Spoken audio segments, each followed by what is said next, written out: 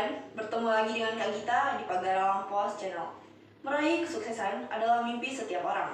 Untuk mendapatkannya bukanlah perkara mudah. Diperlukan kerja keras hingga usaha tidak gampang menyerah. Berikut liputannya. Meraih kesuksesan diperlukan kerja keras hingga usaha tidak gampang menyerah. Semua hal dan rasa yang dialami, kita ambil positifnya saja dan dijadikan motivasi bagi diri sendiri untuk bisa menjadi lebih baik.